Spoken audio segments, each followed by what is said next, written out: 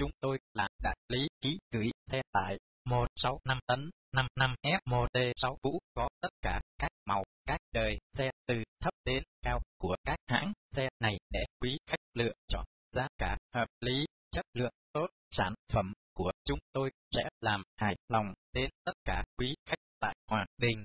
Tinh Thắng là kênh phân phối xe tải 165 tấn 55f1t6 mới, giá cả hợp lý, khách hàng được, nhận xe ngay. Hãy gọi điện cho tôi 0123.985.6666. Hãy gọi cho tôi nhé.